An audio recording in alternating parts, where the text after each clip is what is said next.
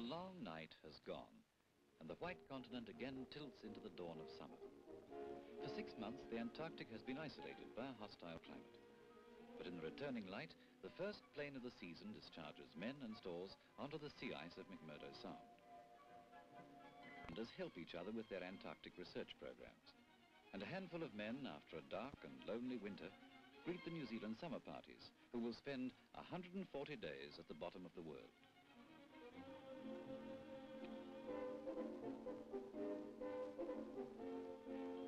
A three-mile journey across the floating ice, which moves and twists with the Antarctic tides, and then the main New Zealand base, named in honor of the polar explorer, Captain Scott. As the sun returns, the snow recedes, and the flat roofs appear once more.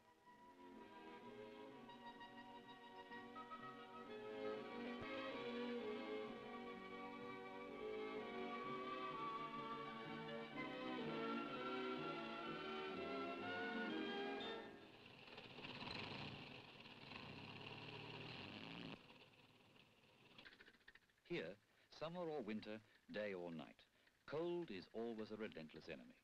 It's October, and although the temperature has risen to 60 below freezing, most vehicles must be warmed with hot air before they cough to life.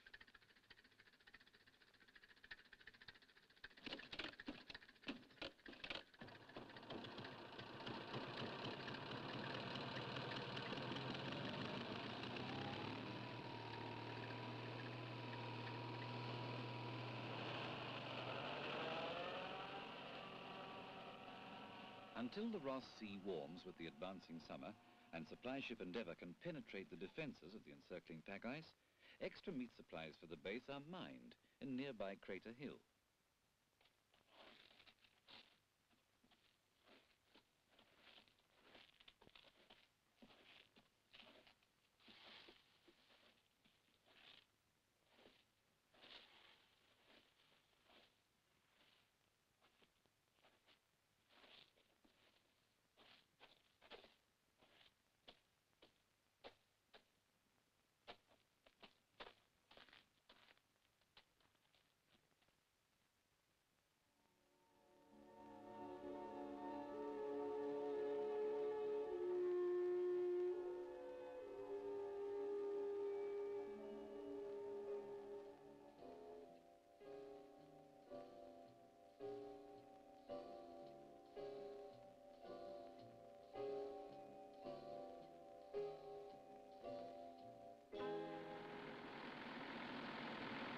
Throbbing heart of Scott Base, which makes life possible here, is a generator.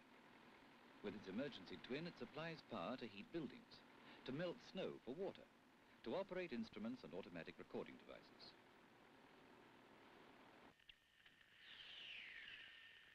From this isolated continent, men of 12 nations, including New Zealanders, are probing the upper atmosphere, hoping that it may reveal to them some of the riddles of the Earth's environment.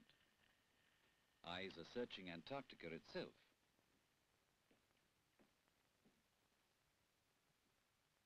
At Scott Base, biologists, geologists, biochemists are probing the secrets of the world's least known continent.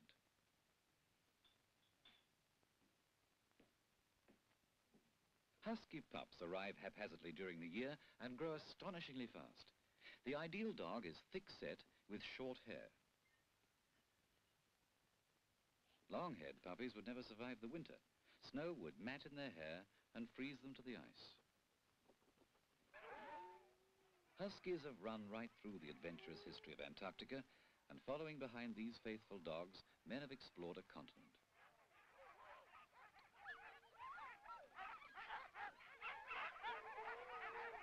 One journey of exploration planned for this summer will take a handful of New Zealanders north into one of the last unknown and unmapped regions remaining.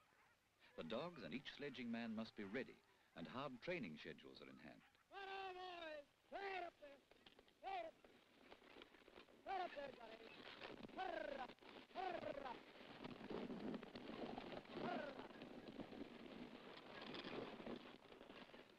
Right up there! Right away! Right up there! Right up there!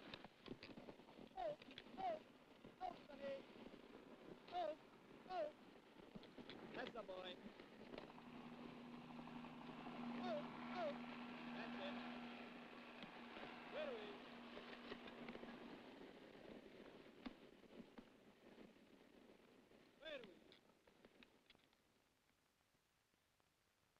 Another party, already far out on the ice shelf, is breaking camp at 2 a.m. Morning is when you wake from a few hours' sleep. For now the sun never sets and day is one long dawn.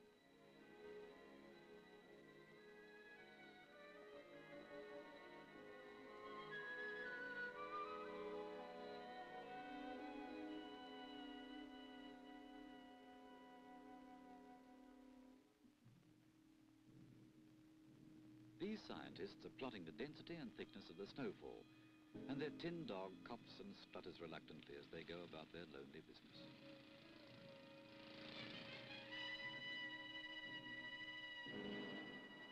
Every few miles, the little caravan halts, and circulation gratefully returns as blocks of dry snow are cut and handled.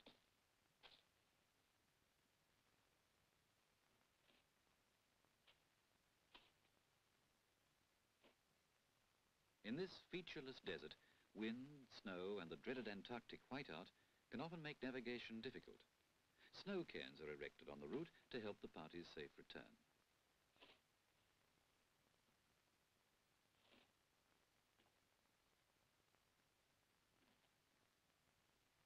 Modern transport's efficient, but like dogs, motor toboggans have to be fed, and fuel adds to the weight of burdened sledges.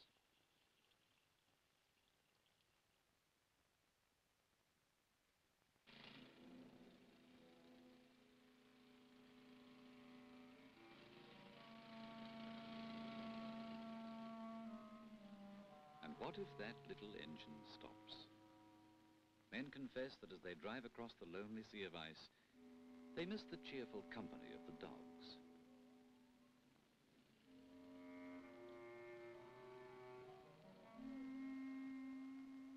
At the base, members of the exploration party are carefully checking equipment.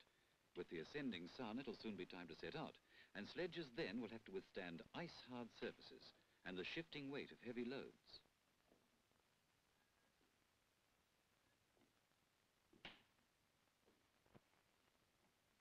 October the 20th, and the meteorologists have forecast fair weather. The New Zealand exploring party are to be flown 350 miles north on the first stage of their journey.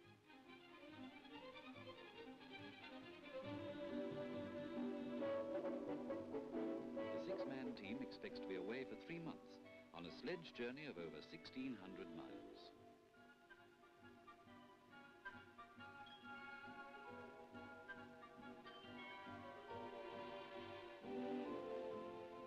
Husky can pull a thousand pounds in the field and faces the Antarctic with few signs of discomfort. But he'd rather run any day than travel by air.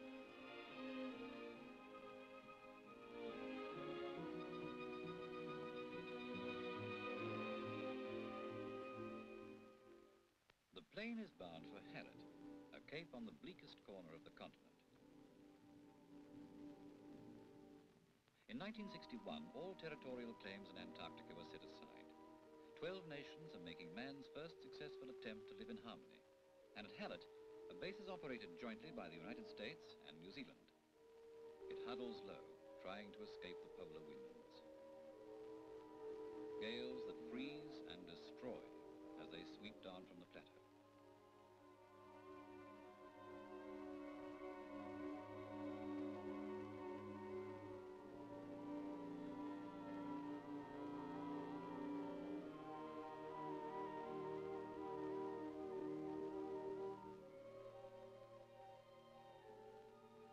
With the Northern Exploring Party have flown in the scientists who will man the base for the next 12 months. They take over from the men who've been on lonely watch in the Antarctic night.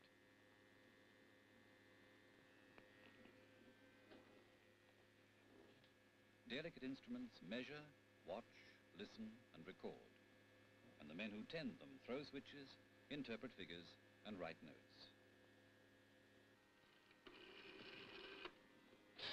After another year of observations, we may be a little nearer to understanding the sources of energy, the Earth's magnetism, to knowing what causes earthquakes, controls the weather, And what makes the aurora flare in the night sky?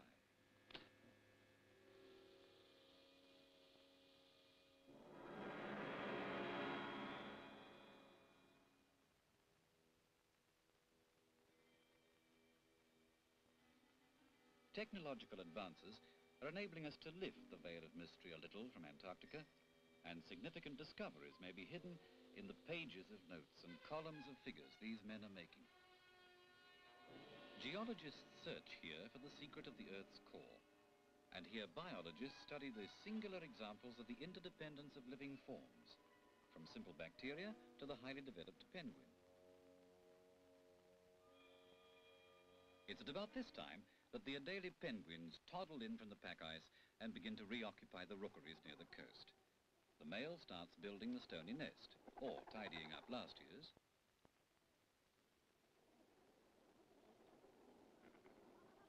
His mate recognizes him, or the nest, and soon the eggs are laid.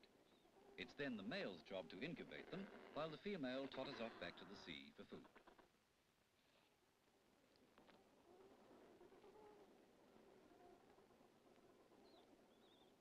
The isolation and simplicity of Antarctica's environment makes the continent a huge laboratory with few variables.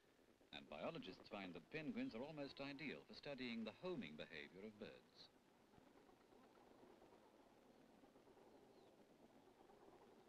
Four o'clock on the morning of October the 24th. The northern parties had a four-day delay at Hallett for the weather's been bad. But at last, the wait is over.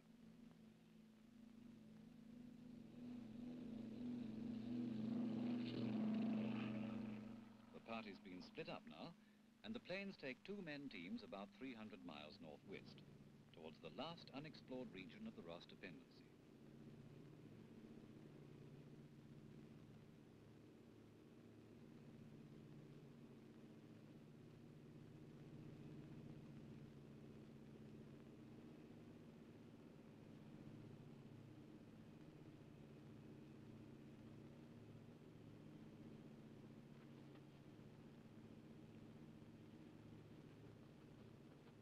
Dogs find it uncomfortable in the aircraft, but a few hours later they're down in their own environment, enjoying a meal of pemmican.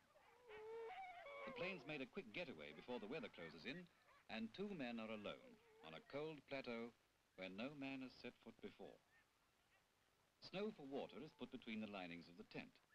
Blizzard conditions could develop while the men sleep, and then it may be impossible to leave the tiny tent for days.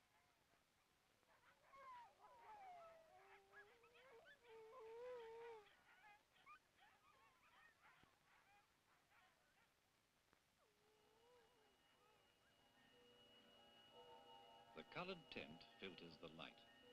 The temperature is 70 below freezing, and a meal is prepared before turning in.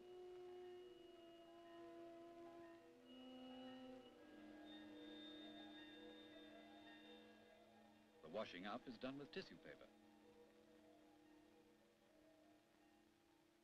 Now it's midnight. Two men sleep, and the wind rises.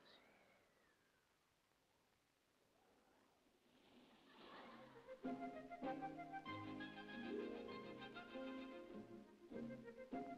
in New Zealand, summer's advancing, and in Wellington, supply ship Endeavour prepares to sail south. With her urgently required equipment and supplies, she must get down to the pack ice, ready to attempt a passage through it as soon as the rising temperatures allow. A thousand tons of aviation spirit for American aircraft are taken on board at Lyttelton, and then the ship slips out of the snug harbor.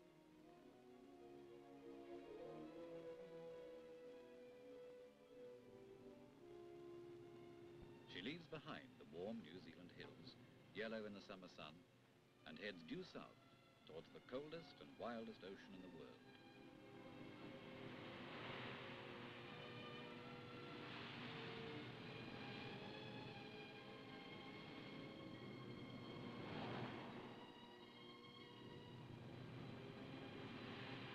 Endeavour battles her way south for 2,000 miles, and then as she approaches the Ross Sea, an unexpected calm.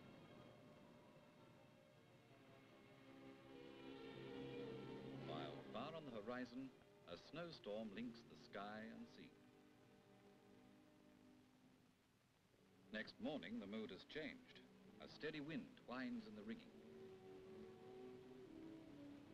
And during the night, the deck has felt the cold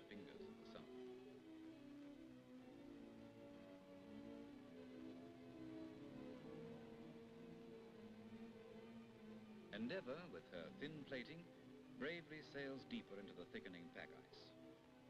At last, the ramparts of Antarctica are reached, the challenging ring of ice that guards the continent. Reinforcements are called in, and icebreakers charge the enemy.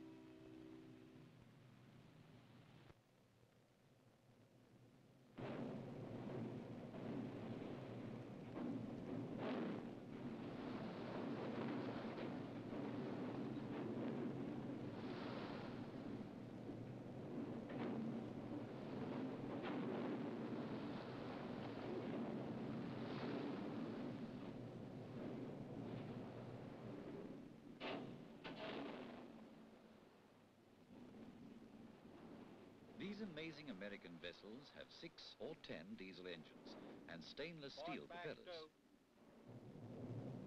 From scratch, a ship can attain a speed of 14 knots in her own length.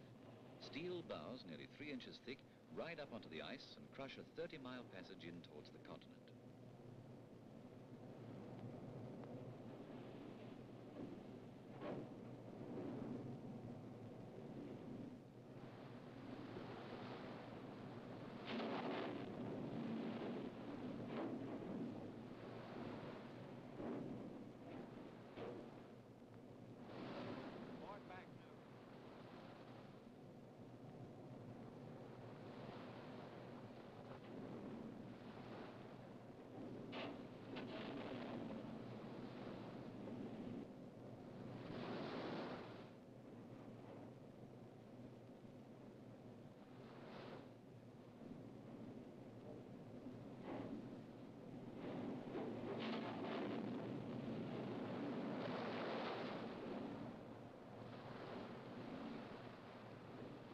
This ocean is richer than any other in the world. Vast quantities of plankton thrive in the cold and stain the ice with a rust of brown.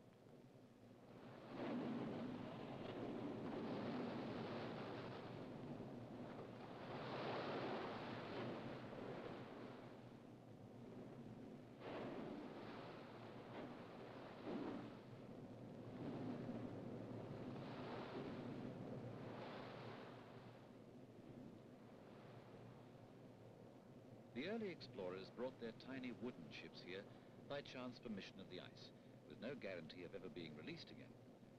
But now the white defenses have been breached, and Endeavour slips slowly into a path strewn with the remnants of a scattered enemy.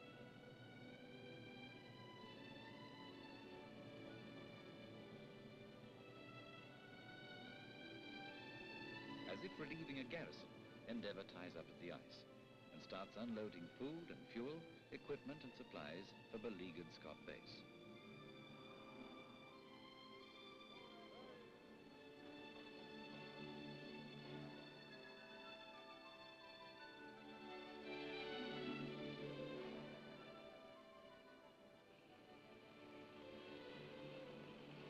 December the 2nd, and the meteorologists find the temperature is steadily rising, with the thermometers reading minus 14 degrees.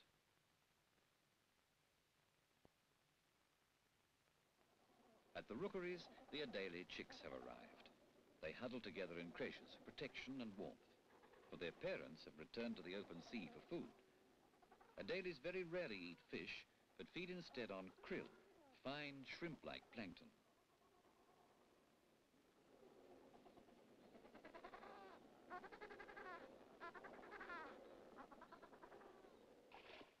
The parents may be away for days gathering food. Then they return to the rookery, a long journey of perhaps 12 or even 20 miles.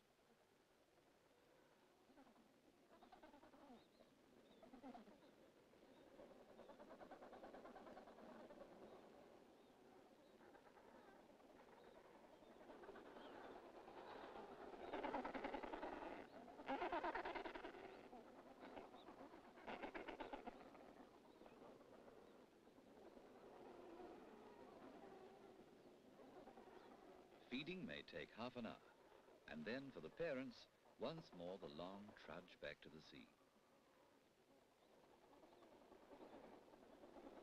New Zealand biologists carry out penguin research, and this includes egg, chick, and total population counts during the breeding season, and banding of adult birds to observe their range and behavior.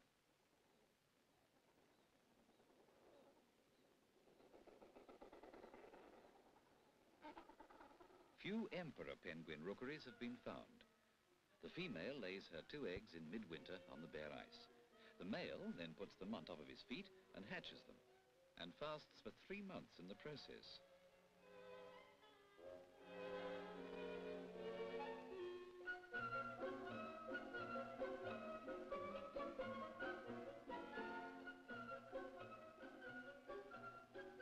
Later in the summer, the ice will break up and float north. Then the emperors and their families, with the dignity that befits them, will sail away to the rich feeding grounds of the pack ice belt.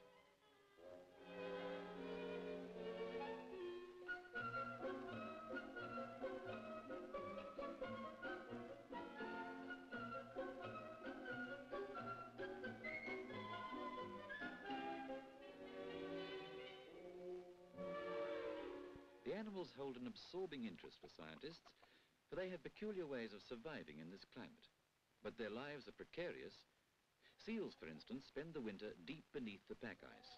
But in extreme winters, when the ice is too thick, many die after they've worn their teeth to stumps trying to gnaw breathing holes up through it.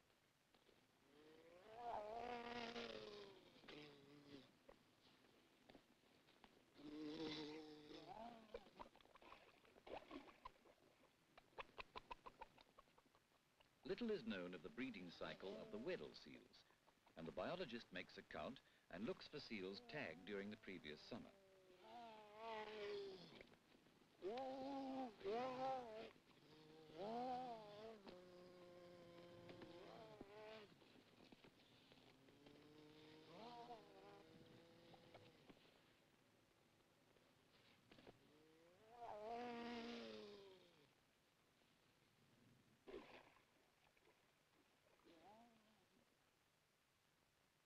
Now, with good weather, after a long spell of bad, the stage is set for resupply flights to the Northern Exploring Party, the cooperative Americans again providing transport. Below, in unknown country, the six men press on, about 400 miles from where Scott and Wilson, Bowers, Oates and Evans lie entombed. They have already sledged 600 miles in 74 days and are short of food. They rendezvous with the planes, which have dropped down out of the milky sky.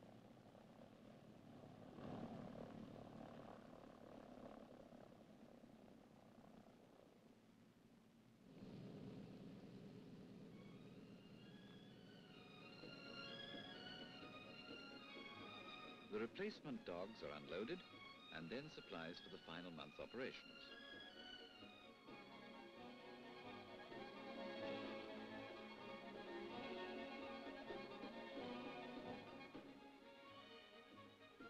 But to these men, a box of Christmas mail is the most looked for cargo of all.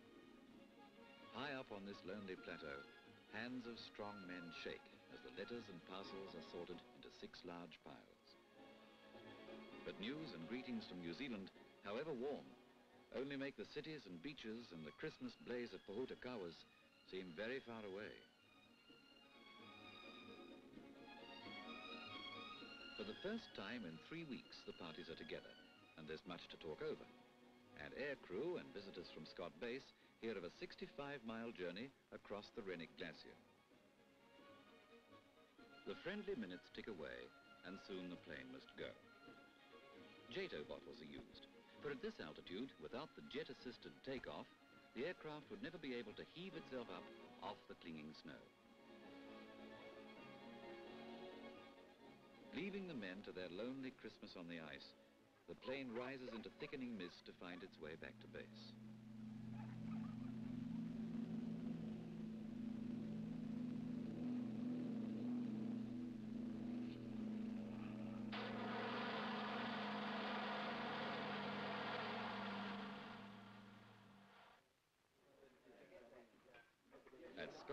There is warmth, companionship, and the traditional celebrations.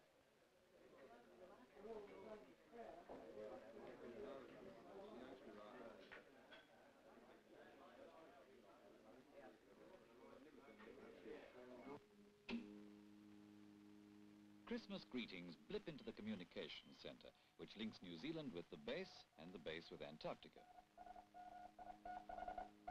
Postmaster's sensitive fingers relay messages on, over a thousand miles of ice to the South Pole. The South Pole, looking like Dante's Inferno.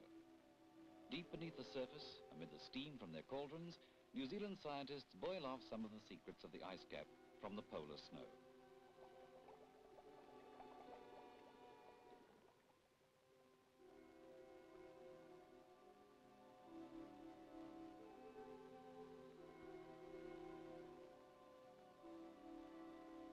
Ice mine, glaciologists study the snowfalls of years past and hope to establish whether the ice sheet is growing or shrinking. The cold here hurts, and the ice underfoot is 8,000 feet deep.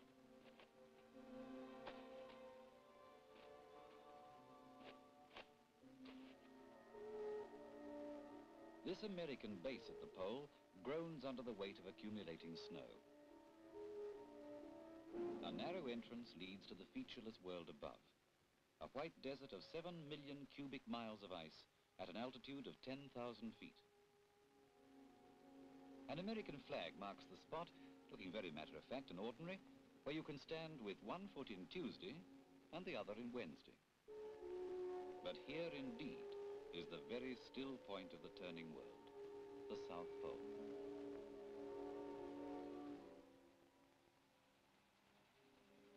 There have been many startling discoveries on the continent, but none perhaps as curious as the dry valleys. In these valleys, there is no snow, no ice, and lakes are warm underneath. And here glaciers come so far and no further.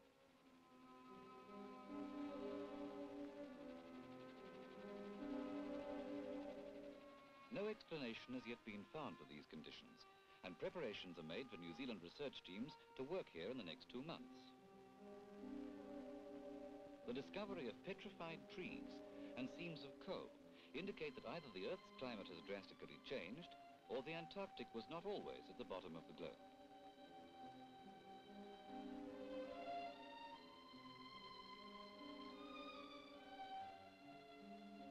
Scientists will try to determine, among other things, whether it's heat from the sun or from within the Earth itself that warms the lakes and melts the glaciers. Here in the dry valleys, they hope to solve one of the riddles of the continent.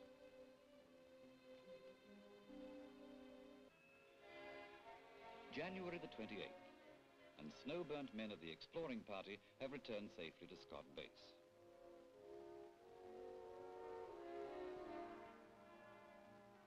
They've been out in the field for 101 days and have covered 40,000 square miles of unexplored country in a little-known continent. These modest men tell the epic story of probably the last long polar journey to be made by men, dogs and sledges.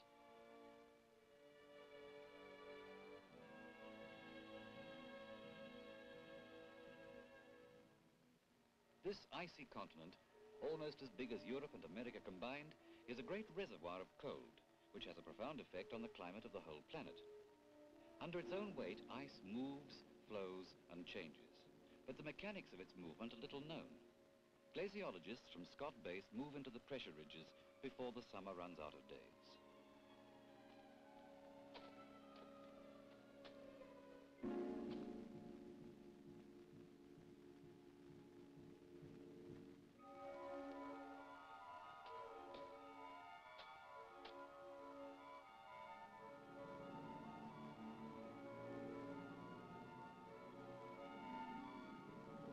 Here on the shelf, they will leave markers under the shadow of steaming Mount Erebus. Next season, these bright poles will tell their story of movement as the ice flows endlessly outward to break away as icebergs a hundred miles long.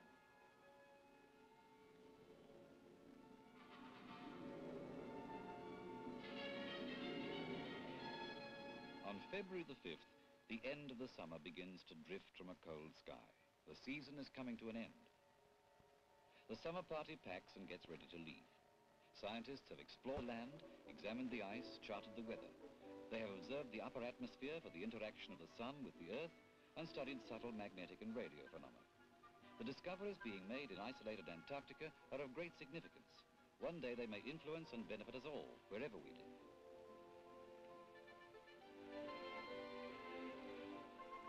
Men prepare for the long night. Observations in the physical sciences must continue. Fuel is brought closer so that it can be found in the darkness and blizzard. For the others, it is now a frantic race to get out before cold cuts off retreat. Already the sea is beginning to freeze, and winter storms are imminent.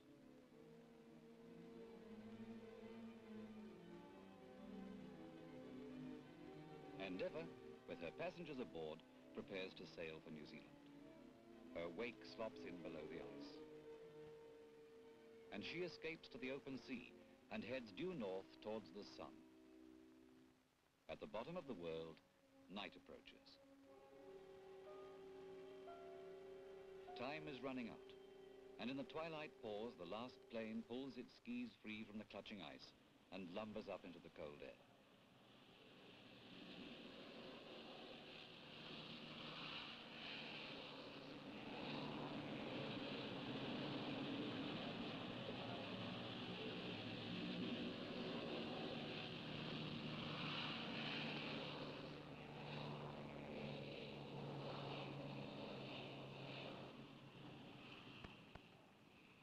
And the lonely continent starts to swing once more down into the dark.